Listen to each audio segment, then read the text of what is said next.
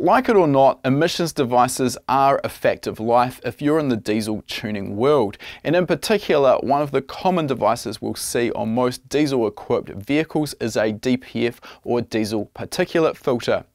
One of the common ways that we've got available to us in the diesel tuning world to improve performance is to increase the fuel delivery into the engine.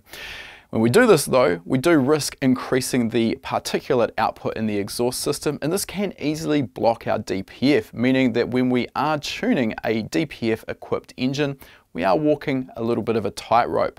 In this lesson, we're going to have a look at how the fuel quantity that we are introducing to the diesel engine affects the opacity of the exhaust and in turn the life expectancy and reliability of the DPF.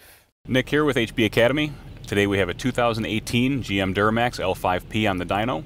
And what we're going to be using this truck for is to show you the correlation between lambda and opacity. So we have an opacity meter in the exhaust just before the DPF, and we also have a wideband O2 sensor in the tailpipe. So we have the stock tune file in the truck. We're going to go ahead and make a ramp run here and show you what we have for opacity and lambda on the stock file.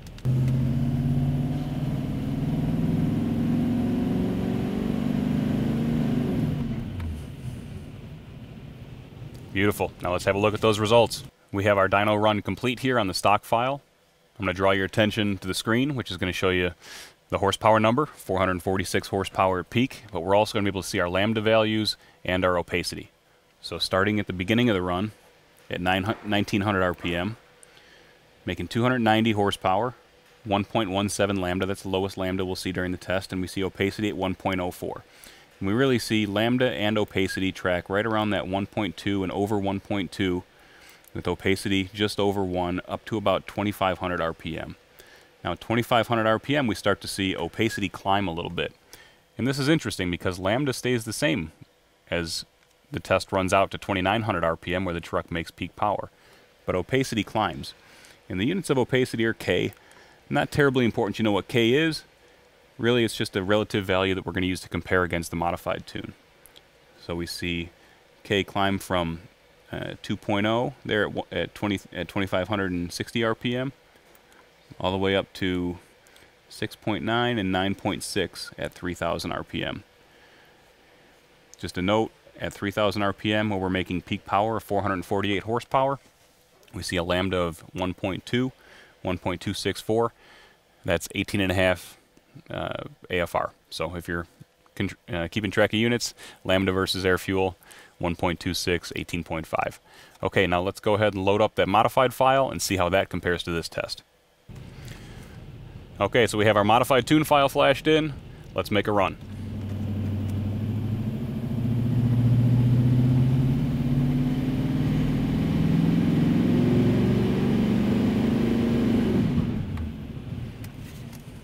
Okay, so we finished the run with the modified tune file. We're going to have a look at these results here.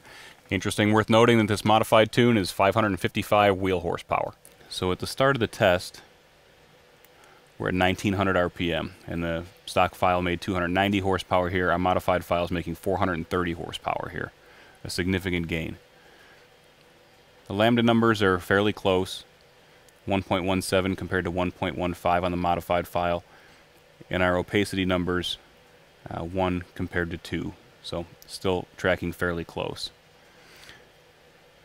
As we move along, 2370 RPM, you can see our factory lambda number 1.24, modified 1.17. Now we're making 500 horsepower compared to 390 horsepower, so more than 110 horsepower increase. We can see our opacity really starting to come up here. 1 on the stock file compared to 6.7 on the mod file. And that opacity is going to continue to climb as we go later and later into the rev range where the turbocharger is going to lose the ability to control our lambda. So you can see 2500 or 2560 RPM is probably about the last RPM breakpoint where we had good control over lambda.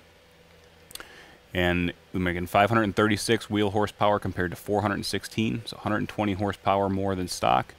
1.13 lambda compared to 1.21.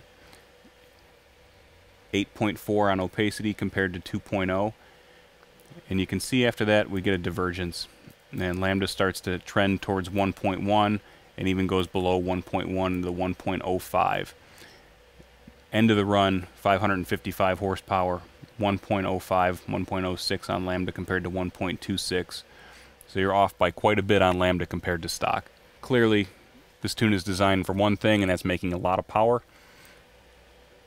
We're at the limit of the turbocharger, and as such, we see the loss of the ability to keep that lambda number in the 1.2 range, and we're trending to 1.1 and even below 1.1, where we lose control of opacity as well, and that climbs towards 10. Hopefully this test was a useful tool to see the relationship between lambda and opacity. Of course, they're not directly related, but you can see as you trend below that 1.2, 1.25 lambda towards the 1.1 and even deeper towards 1.0 lambda at the end of our modified tune test, you can really see opacity come up. Very useful when you're tuning a DPF equipped truck. We know you may not have access to an opacity meter, but hopefully this test has given you a nice window into the relationship between lambda, opacity, and the power level. If you like that video, make sure you give it a thumbs up. And if you're not already a subscriber, make sure you're subscribed. We release a new video every week. And if you like free stuff, we've got a great deal for you. Click the link in the description to claim your free spot to our next live lesson.